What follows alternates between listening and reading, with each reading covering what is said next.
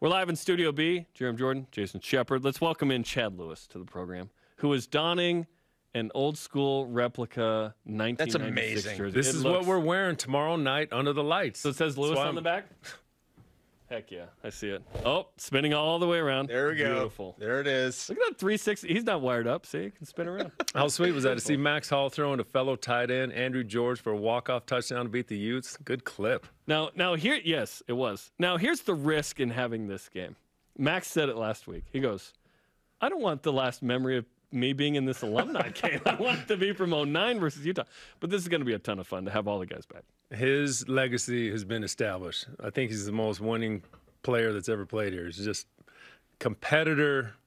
Love that dude. It's fun that he's coming back. This is this is alumni day, so everyone's coming back home. It's more than just the game. It's more It's than just day. a game. Yeah, it's all day. There's going to be uh, a lot of get-togethers, lunches, dinners, whatever. And this is a way for us alumni to give back to our, our younger brothers. You you you choose to come to BYU. You're in the brotherhood. There's no cool guy cliques. There's no these are the popular Are football you sure players. the quarterbacks hang out a lot? I just told you.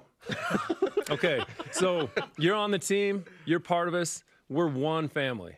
So you're going to see people on the sidelines having fun in the stands. Like this, this is one big family. It's a brotherhood, and that means it means something to us. Well, and you you were telling us that obviously we've seen a lot of the names that are going to be participating in the game, but you're saying there's going to be so many more people that have ties to BYU that bleed Cougar blue. They're going to be there that aren't even going to be participating. Right? They don't want to be pulling hamstrings tomorrow night. They just want to be there having fun, seeing each other. So yeah, there's going to be a lot of people there all day tomorrow. BYU. You want to come down? It's free entry.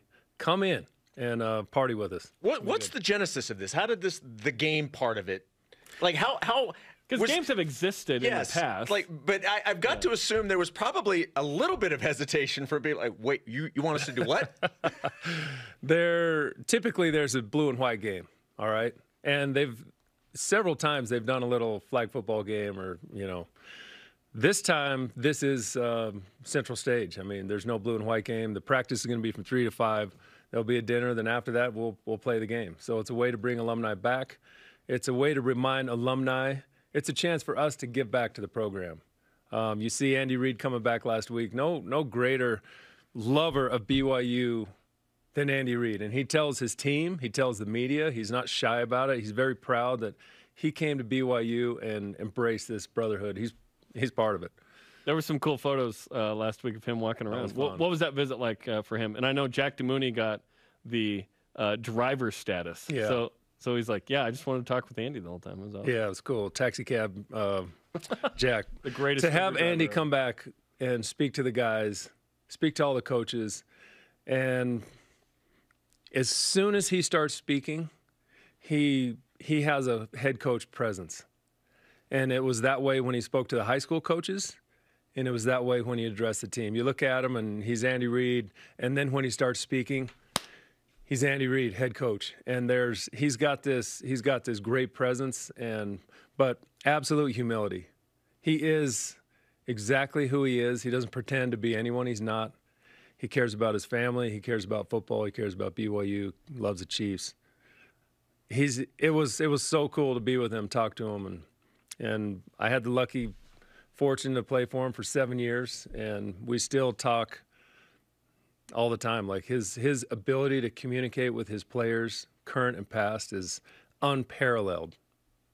you, uh, as you mentioned, you have the personal history with Coach Reid, and then at the end of last year, your son-in-law Matt was part of the Chiefs. What's his What's his situation? Is he planning on going to camp with the Chiefs? What where, Where's uh, Matt's situation right now? He's on the Chiefs. The backup tight end got hurt in the AFC Championship Yep. game, so he would have played in the Super Bowl. Um, You would have dressed in the Super Bowl. yeah, he would have you're been playing. Correct. He would have been on the fixture. That's oh right. my god! I know, I know. He's right there.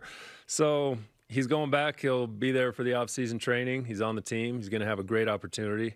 Here's the here's the gift of playing with a great tight end like Travis Kelce. You, he's going to draw coverage.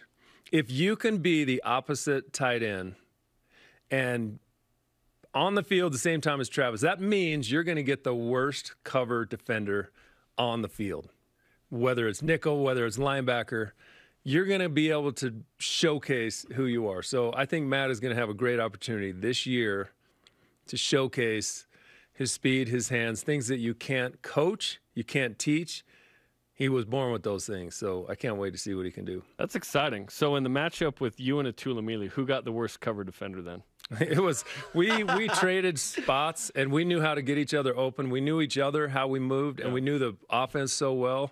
Coach Chow put us in great spots, and Steve Sarkisian lit us up. So I mean, we were just every game felt to us felt like a track meet. It was like let's go.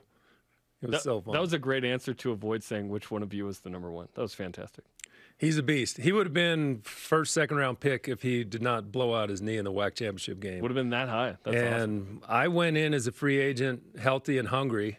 I was given a great opportunity. I played nine years in the pros. He played nine years in the pros. So um, for us to play on the same field again tomorrow night, to be teammates again, this pumps me up. That's pretty cool. Itula Mili, baby. That's pretty cool, man. Is there somebody that maybe you haven't seen in a while that you're really excited to see tomorrow night? Um, I got the list of all the people here. Um, and just looking at the list of who's coming back, I'm pumped to see every one of them. Re- Reno Mahe, he was a teammate of mine at Philadelphia. Love Reno. and we had so much fun. That dude was a great teammate. But all these guys, Brian Kehl, I played with his brother Ed.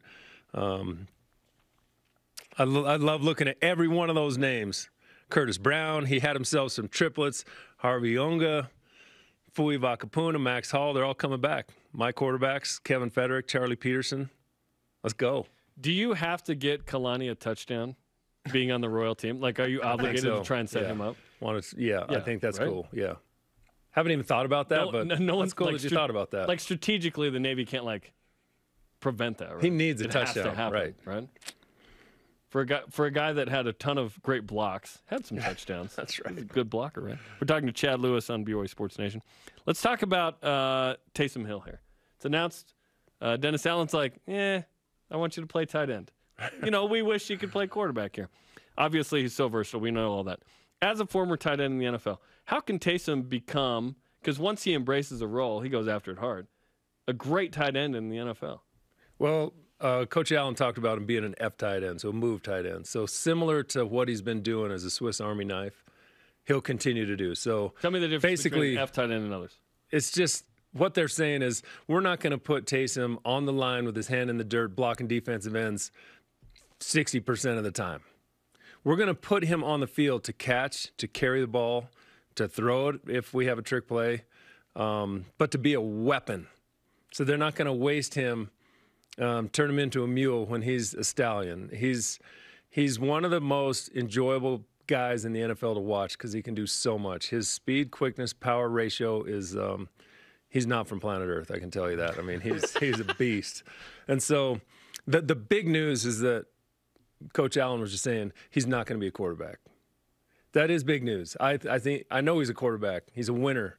Um, but he's going to embrace this opportunity. He's going to rip it. Your shirt right there demonstrating what he can do to the you know great players. So I'm I'm really excited. Love him. One of the things that's been really fun, especially over the last couple of years, is the sheer number of former Cougars that are in the NFL. And it's not just taking up a roster spot. We're talking about guys starting Zach. Wilson, Fred Warner, Kyle Van Noy. The, we What have does that mean players. for this program? It's, it says that BYU's done a good job of recruiting talented guys that have the ability to go to the next level if they stay healthy and work hard. And that's what's happening. You're seeing guys work. No one's ever watched more tape than Zach Wilson in the history of BYU football times 100. And the talent level, if you look at, you know, we just talked about Taysom, but Fred Warner, starting middle linebacker, taking his team to the Super Bowl, his speed, his athletic ability is really off the charts. Kyle Van Noy's ability to make plays and um, guys at every position going out, showing out, um, really playing well. That's that shows says a lot about our coaches, about this program, and hopefully that continues. The more guys we get in the NFL, the more recruits want to come here and play for BYU. Talking to Chad Lewis on BYU Sports Nation. Uh, Tyler Allgeier is the next guy, and Oh, hopefully man. some other guys, right? Uh, James Empey and Neil Pau'u, Samson Nacua. We'll Samson see. had a great pro yes, day. Yes, he did. Absolutely. As seen on uh, BYUtv here. With Tyler, uh, is there a team that you think would be a good fit, or is there a round that makes sense for him as a draft pick? It was interesting when Andy was here. Andy knew exactly who Tyler was, watched him, said, Hey, um, Eric Bieniemy, my offensive coordinator, loves you.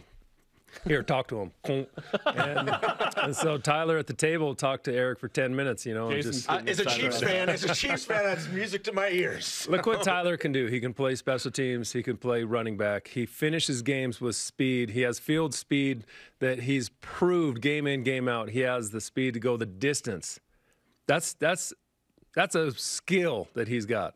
He's a workhorse and he's humble. He's exactly what 32 NFL coaches want.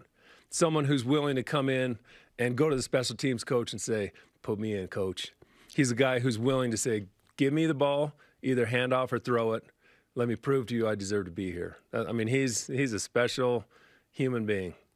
And what a great story. Abs- without story question. Amazing. What uh, great what's story. been your impression of uh, of spring football, and, and what gets you excited about this upcoming season?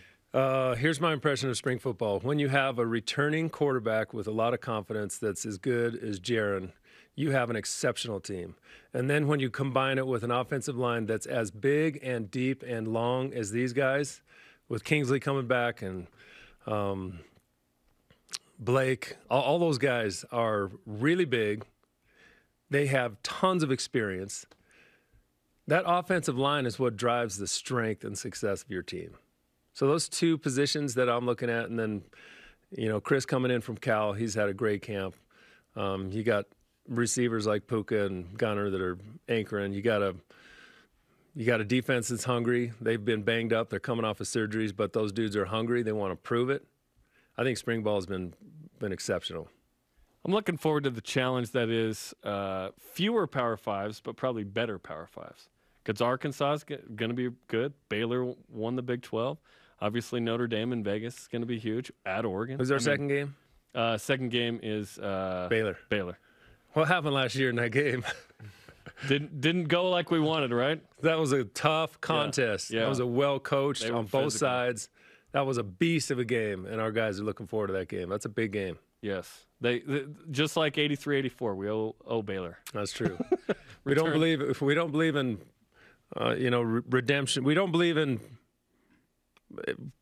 President Lee said something so funny in the locker room against. Uh, we're playing Arizona State. He said, "We don't believe in retribution, but we do believe in paying our debts." Let's go.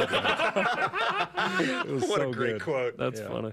Okay, well, Chad, we appreciate the time. Uh, best of luck. Make sure you stretch out tomorrow for the game, and we're looking forward to multiple touchdowns in the corner. Yeah, no Yeah. heroes tomorrow. No pulled muscles. Just catch a ball, have fun, and uh, just enjoy being with my teammates. No heroes tomorrow. Tell that to Mitch Matthews, Brandon Bradley. These guys are going to try and win. They're MVP still young this and game. limber. They can go for it. It's true. if they if they pop a muscle, they can they Is can heal. Brandon still young and limber? Question mark. He's still young Okay, and limber. yeah. bring it on. Yeah, I, I love Brandon. Okay, thanks, Chad. Thanks, Go Chad. Cougs.